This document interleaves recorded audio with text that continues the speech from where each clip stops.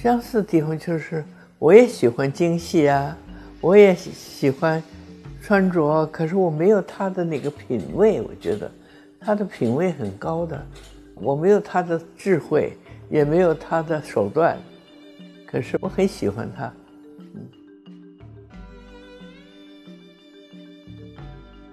第一，我喜欢这个剧本，假使是别的剧本，也许我就不去考虑了。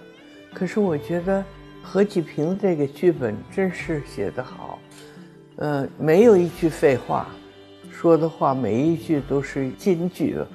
因为平常你看到关于慈禧的这剧剧本或者是文章，都是描写她是一个非常暴力的，是吧？非常呃自私的、非常手段毒辣的女性。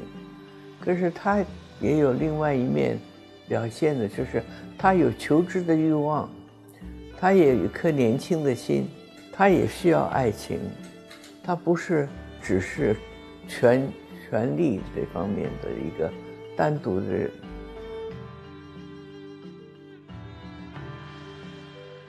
我觉得慈禧是一个非常聪明，而且非常有文艺气息的人。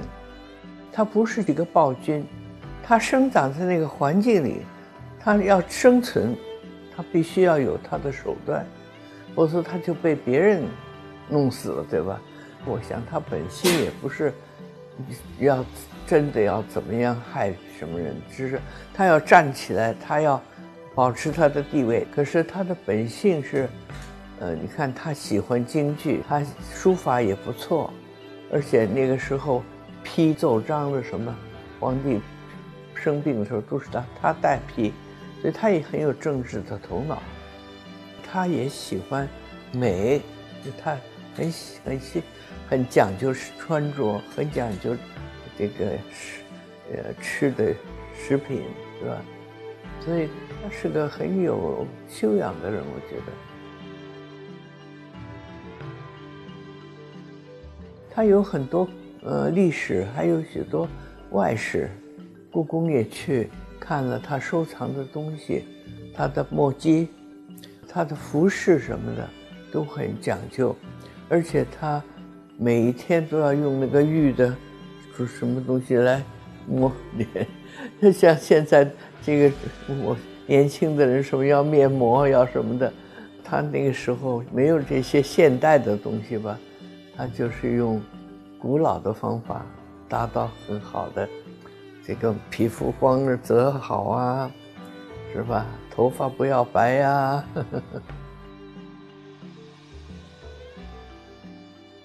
两个都是非常好的艺术家，濮存昕当然资格更老了。他的经验更多了，而且他演过那么多的戏了，这个对他来说是驾轻就熟了。郑云龙是非常纯真的一个一个演员，嗯，我觉得他他的前途未可限量。我非常欣喜他，因为他什么都是出自真诚，从心里出来的。他的台词，他的表情，都是。真正的感受的，不再演，他就是那个光绪了。我想演戏，不论在舞台上或者是在电影里，我觉得都是需要从心里出来的。